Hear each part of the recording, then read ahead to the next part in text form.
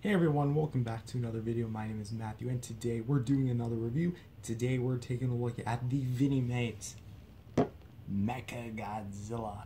This is going to be kind of a rather quick one because I don't have much to say outside of the fact that in terms of like the overall sculpt and accuracy, it's actually fairly nice.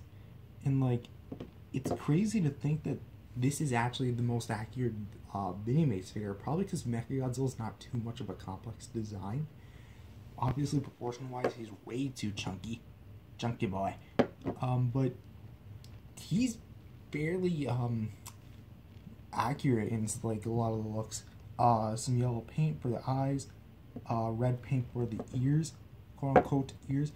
Uh, looks like what appears to be some decals for the MG logo, and some uh, different colored silver for the, uh, or gray for the uh, joints here, and that's kind of about it. He's just purely silver. Um, for articulation, he only features a head swivel, no tail swivel. Um, understandable for MG. Um, for size comparison, I'm gonna go get a few figures.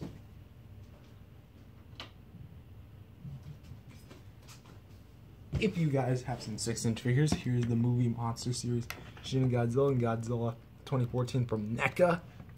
And as you guys can clearly see, whoa, okay, that just made it way more shiny. That made it shinier too. Jeez. Oh, stop. Whatever. This is it. Um, as you guys can clearly see, Mecha Godzilla here stands about uh to their waist, I'd say, or just shy of their or just above their hips, shy of their shoulders. But honestly, uh yeah, he um that's all I really have to say about this figure. He's very simplistic. Um what else can I say? Not really much, honestly. I just covered everything about him. He's very small, very simplistic. He ain't too complex, which is nice. Uh so yeah, uh I recommend this figure if you can track it down for a good price. I hope the aftermarket prices are good on this guy. And I hope uh, Vinny, uh, not Vinny Mates, uh, Diamond Select, the guys who are behind Vinimates, are fine reissuing this guy. Anyways, guys, that's all for this video. If you guys liked it, definitely subscribe, leave a like, thumbs up, and I'll see you guys next time. Peace. Subscribe to the channel.